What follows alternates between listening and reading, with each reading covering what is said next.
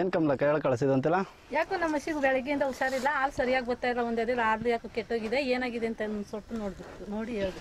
ನೆನ್ನೆಗಿನ್ನ ಹಾಲು ಚೆನ್ನಾಗಿತ್ತು ಬೆಳಿಗ್ಗೆಯಿಂದ ಕೆಚ್ಚಲು ಯಾಕೋ ಊದ್ಕೊಬಿಟ್ಟಿದೆ ಹಾಲು ಯಾಕೋ ಕೆಟ್ಟೋಗಿದೆ ಹಾಲು ಈ ರೀತಿ ಇದೆ ಏನಾಗಿದೆ ಅಂತ ನೋಡಿ ಹೇಳಪ್ಪ ಸ್ವಲ್ಪ. ಯಾಕ ನೋಡ್ತೀನಿ ಇರೋ ಏನಾಗಿರತ್ತಂತ ಅಂತ ಇವಾಗ ನೋಡ್ತೀನಿ. ನೋಡು ಎರಡು ಬಟ್ಲೆ ಎತ್ಕೋಬೇಕು ಕಮಲಕ್ಕ.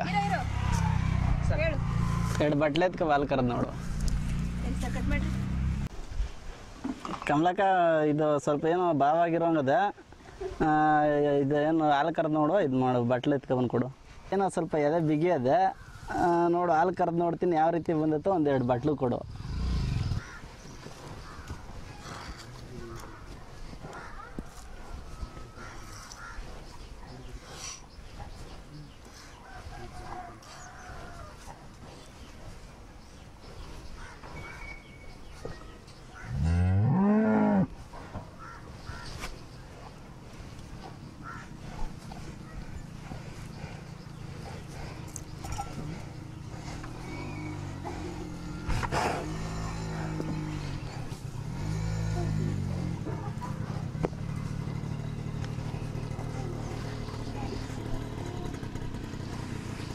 ಇದು ಯಾವ ರೀತಿ ಇರುತ್ತೋ ಇನ್ನೊಂದು ಇದೆ. ಚೆಕ್ ಮಾಡಿ ನೋಡ್ಬೇಕು. ಅಷ್ಟೇ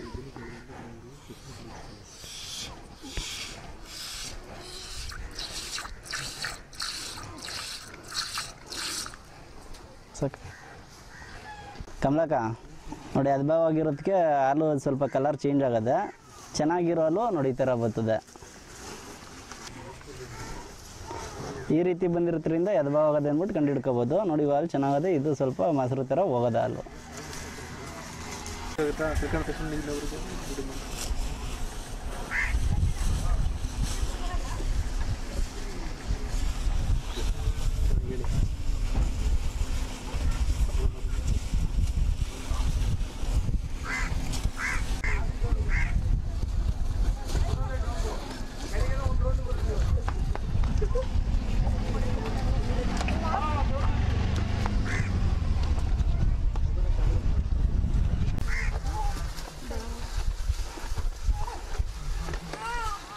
ಕಮಲಕ್ಕ ಎದೆ ಊತ ಇರತ್ತೆ ಬೇರೆ ಏನಾರು ಲಕ್ಷಣ ಏನಾರು ಕಂಡು ಬತ್ತಾ? ಎದೆ ಕೈ ಹಾಕಿದ್ರೆ ಸಾನೆ ಸಿಕ್ ಗಟ್ಟಿ ಇದೆ. ಮತ್ತು ಹಾಲು ಕರೆದು ನೋಡಿದ್ರೆ ತುಂಬ ಮೊಸರು ಇದ್ದಂಗಿದೆ ಎದೆ ಮುಟ್ಟಿದ್ರೆ ಜ್ವರ ಇದೆ. ಮೈ ಸಾನೆ ಬಿಸಿ ಇದೆ. ಕಮಲಕ್ಕ ನೀನು ಹೇಳೋ ರೀತಿ ನೋಡಿದ್ರೆ ಅದು ಎದಭಾವನೆ ಅದಕ್ಕೆ ಸ್ವಲ್ಪ ಇಲ್ಲೇ ನಾಟಿ ಔಷಧಿ ಇಲ್ಲೇ ಇದು ಮಾಡಿಕೊಂಡು ಎಲೆಗಳು ಇದು ಮಾಡಿ ಔಷಧಿ ಸವರ್ಕೊಳ್ಳೋ ರೀತಿ ಇದು ಮಾಡಿಕೊಂಡ್ರೆ ಸರಿ ಹೋಗುತ್ತೆ ಅದು ಏನೂ ಆಗಲ್ತು ಬಿಡು. ಕಮಲಕ್ಕ ಅದು ಯಾವ ರೀತಿ ಅದು ಔಷಧಿ ಇದು ಮಾಡ್ಕೋಬೇಕಂತ ನಾನು ಹೇಳ್ಕೊಡ್ತೀನಿ. ಅದು ಅದೇ ರೀತಿ ಮಾಡಿಕೊಂಡ್ರೆ ಸರಿ ಹೋಗುತ್ತೆ ಎರಡು ಇಡೀ ಮರ ಎಲೆ ಸೊಪ್ಪು ತಂದು ಇಕ್ಕೋಬೇಕು. ಒಂದು ನಾಲ್ಕು ಎಲೆ ಅಷ್ಟು ಬಿಡಿ ಹಾಕ್ದಲ್ಲೇ ತಂದು ಇಕ್ಕೋಬೇಕು. ಎಷ್ಟು ಲಕ್ಕಿ ಸೊಪ್ಪು ಬೇಕಾಗುತ್ತೆ. ಅಷ್ಟು ಈಸ್ಪಿರಿ ಬರಬೇಕಾಗುತ್ತೆ. ಬೇಕು. ಮೂರು ಚಮಚದಷ್ಟು ಜೀರಿಗೆ ಬೇಕು. ಒಂದು ನಾಲ್ಕರಿಂದ ಒಂದು ಐದು ಕಾಳಷ್ಟು ಮೆಣಸು ಹಾಕೋಬೇಕು ಒಂದು ಸ್ವಲ್ಪ ಅಕ್ಕಿ ಗಂಜಿ ಬೇಕು. ಒಂದು ಬೆಳ್ಳುಳ್ಳಿಯನ್ನು ತೆಗೆದುಕೊಳ್ಬೇಕು. ನಮ್ಮರೆ ಈಗ ನೀವು ನೋಡಿದ್ರಿ ಈ ಈ ಕೆಟ್ಲ ಬಾವು ಇದಕ್ಕೆ ಔಷಧಿನ ಯಾವ ಯಾವ ಏನೇನು ಬೇಕು ಅದಕ್ಕೆ ಅಂತ ನೋಡಿದ್ರಲ್ಲ? ಈಗ ಒಂದೊಂದಾಗಿ ಮೊದಲಿಗೆ ಒಂದೂವರೆ ಅಡಿ ಉದ್ದದ ಈಶ್ವರ ಈಶ್ವರಿ ಬಳ್ಳಿನ ಆಯ್ಕೋಬೇಕು ಒಳ್ಕೊಳ್ಳಿ ಕಾಯ್ಕೊಳ್ಳಿ ಇದನ್ನು. ಆಮೇಲೆ ಎರಡರಿಂದ ಮೂರು ಎಕ್ಕದ ಎಲೆನ ಹಾಕೋಬೇಕು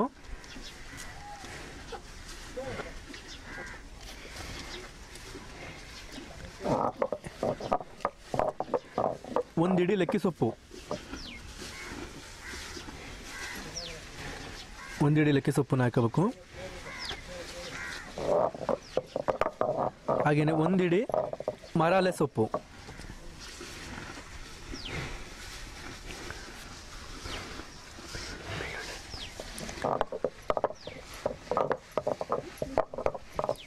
ಒಂದು ಮೂರು ಚಮಚ ಜೀರಿಗೆನ ಹಾಕೊಳ್ಳಿ. ಒಂದು ಮೂರು ಚಮಚ ಜೀರಿಗೆ, ಒಂದು ನಾಲ್ಕು ಕಾಳು ಮೆಣಸು.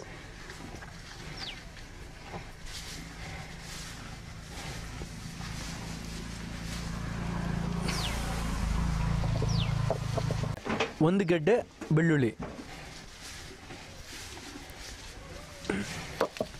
ಇವೆಲ್ಲನೂ ಈ ಥರ ಒಳ್ಕೊಳ್ಗೆ ಹಾಕಿ ನೀರು ಬದಲು ಸ್ವಲ್ಪ ಅಕ್ಕಿ ಗಂಜಿ. ಅಕ್ಕಿ ಗಂಜಿ ನೀರಲ್ಲಿ ಇದನ್ನು ಚೆನ್ನಾಗಿ ಅರಿಬೇಕು ಈಗ. ಹಾಕಿ ಹಾಕಿ ಇನ್ನು ಸ್ವಲ್ಪ. ಹಾಕಿ ಹಾಕಿ ಹಾಕಿ.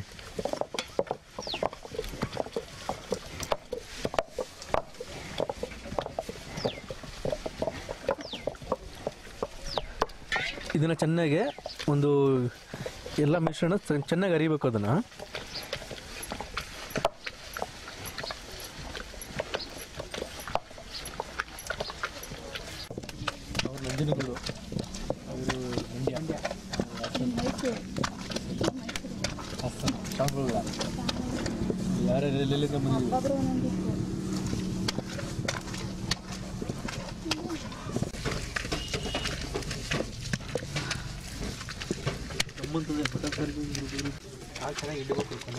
ಇಲ್ಲ ಸರ್, ಎರಡು ರೂಪಾಯಿ ಕರ್ಕೋತೀವಿ. ತಿರ್ಗಾ ಇನ್ನೊಂದು ಸಲ ಕರ್ಕೋತೀವಿ ಸರ್ ಮನೆಗೆ.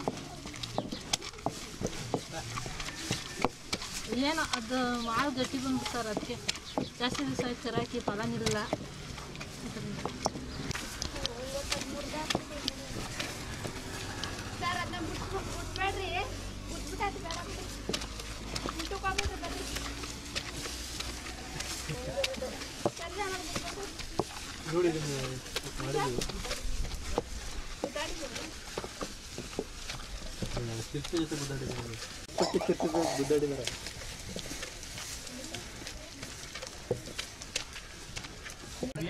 ನೋಡಿ ಕಮ್ಮವರೆ ಈ ರೀತಿ ಚೆನ್ನಾಗಿ ಅರಿದ ಮೇಲೆ ಎಲ್ಲ ಮಿಶ್ರಣವನ್ನು ತೆಗ್ದು ನೀವೊಂದು ಬಟ್ಲಿಗೆ ಆಯ್ಕೊಳ್ಳಿ ಅರ್ಧಿ ಬಟ್ಲಿಗೆ ಆಯ್ಕೊಳ್ಬೇಕು ಹ್ಞೂ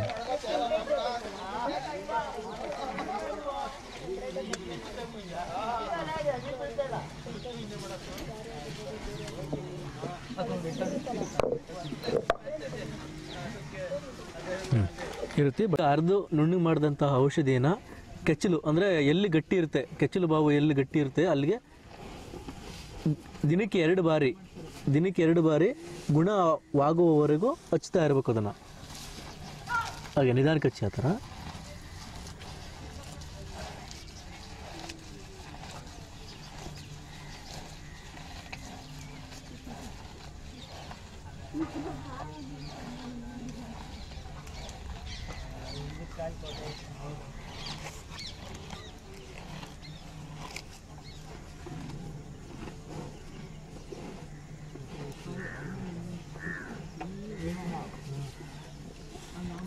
ಆ ರೀತಿ ನಿಧಾನಕ್ಕೆ ಎಲ್ಲ ಜಾಗಕ್ಕೂ ಹಚ್ಚಿ ಸ್ವಲ್ಪ ಹಾಗೆನೆ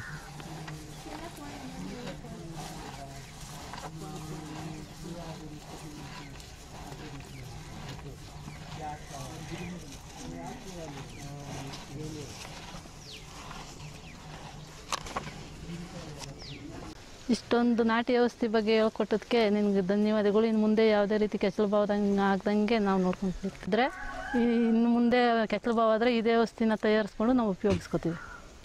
ನೋಡಿ ಕಮ್ಮನಮರ ಈ ಕೆಚ್ಚಲು ಬಾವು ಕೆಚ್ಚಲು ಬಾವು ಏನಿದೆ, ಅವು ಹೆಚ್ಚು ಹಾಲು ಕೊಡುವ ರಾಸುಗಳಲ್ಲಿ ಹಾಲು ಸರಿಯಾಗಿ ಹಿಂಡದೇ ಇದ್ದಾಗ ಈ ಕೆಚ್ಚಲು ಬಾವು ಬರ್ತದೆ.